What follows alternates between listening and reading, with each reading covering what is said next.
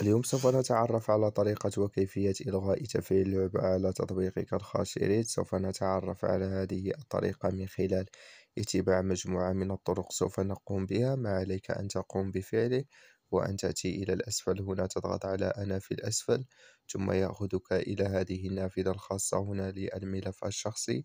بعد ذلك مباشرة تأتي إلى الأعلى تضغط على هذه العلامة للإعدادات في الأعلى. وبعدها يأخذنا إلى نافذة الإعدادات في هذه النافذة الخاصة هنا. أضغط على الإشعارات ثم نأتي إلى نافذة الإشعارات الخاص بنا في هذه النافذة.